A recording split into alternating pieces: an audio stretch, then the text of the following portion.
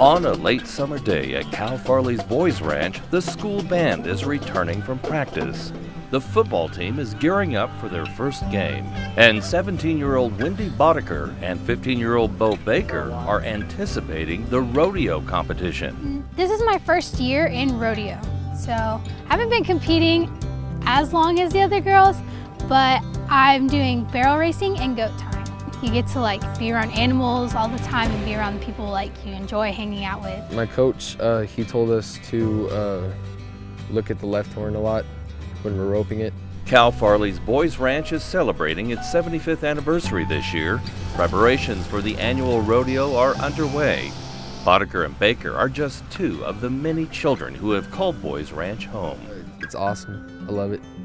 There's a lot of great people out here, a lot more opportunities. It's just like a family. Like you're big, it's a big family and I love it.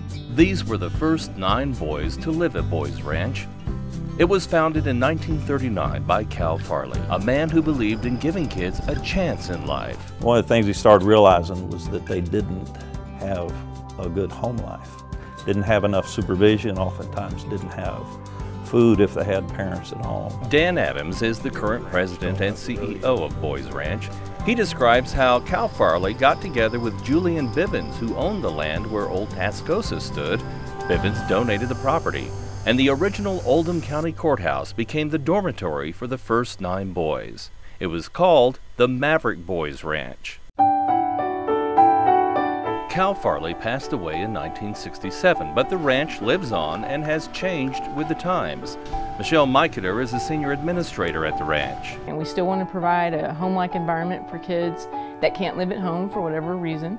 Um, but we do a lot of things now that are much more uh, brain friendly. We're much more on the cutting edge with neuroscience as far as looking at brain development, um, experiences, and relational health, and how that affects brain development. No campus-based care, of course, is where our roots were, and, and still the flagship of our organization, our growth point really is in community-based services. And that's because of how limited beds are com compared to how many numbers of people really need that. Um, and so we have reached out in the community Despite its expansion, Cal Farley's Boys Ranch, which is now co-ed, will always be a place of memory, of found hopes for the many kids who've walked this campus. It was created from the vision of one man who wanted to make a difference in the lives of kids who had it harder than most. Celebrating the Panhandle spirit, Larry Lemmons, Pro News 7.